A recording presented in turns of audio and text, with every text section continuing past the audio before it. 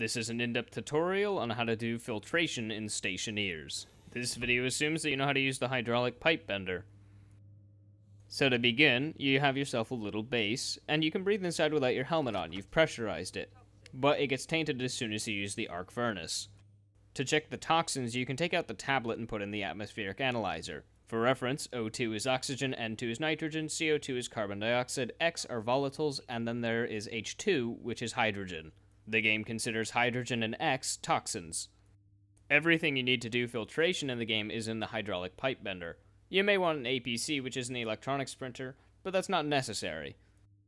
At the very least, to do filtration, you're going to need two passive vents, two atmospheric kits, a filter of oxygen and a filter of nitrogen, piping, and cables. All of these things but cables are located in the hydraulic pipe bender. You can get a hydraulic pipe bender from the autolathe. Cables are located in the electronics printer.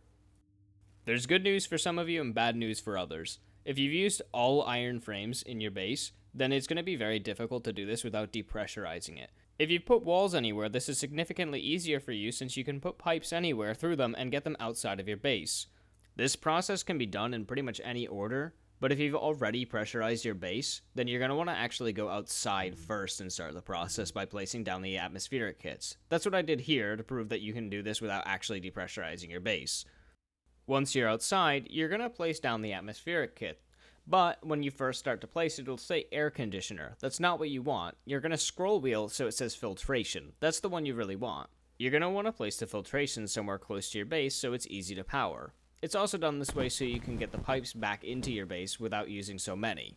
Once you place the first filtration unit, you're going to place the second one pretty close by. This is because you're going to need to put piping between the two of them as well as cabling, and you need a bit of space to do that.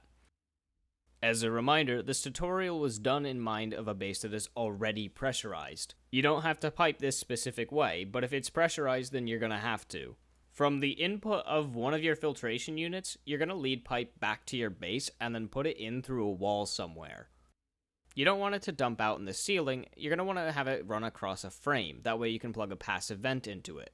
You can see how I'm doing it here. The frame is the wall of my base, but the ceiling is actually made of walls. It's kind of confusing, but it's the way I did it. From the output of the other filtration unit, do the exact same thing. Next, for the first filtration unit that you hooked in, go from the waste to the input of the second filtration unit.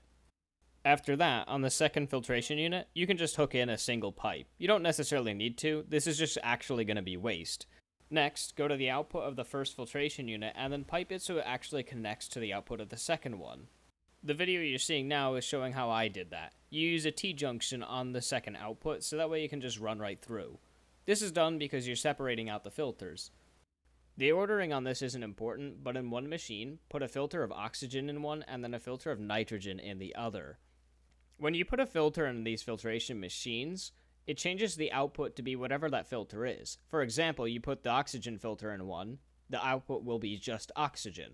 The nitrogen filter will produce just nitrogen. The waste port is everything else. Now that you've got the piping set up, you can power up the filtration units.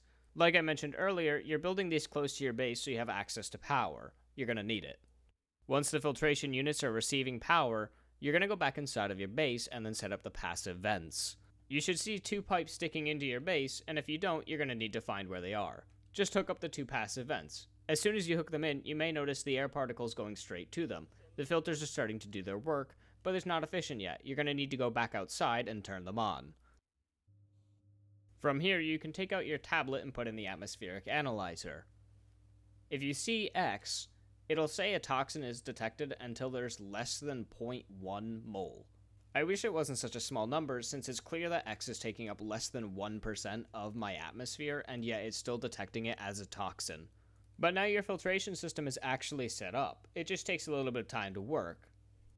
Using the filtration system the way I set it up is technically inefficient. It's not wrong, but it's inefficient. You can use the filters for volatiles and pollutants and put them into canisters. This is useful when you need more welding fuel or jetpack propellant or anything. You can use it in that scenario. You can also use it as a way to fuel the furnace, but I'm not sure if I'd recommend it considering I've blown myself up too many times doing it.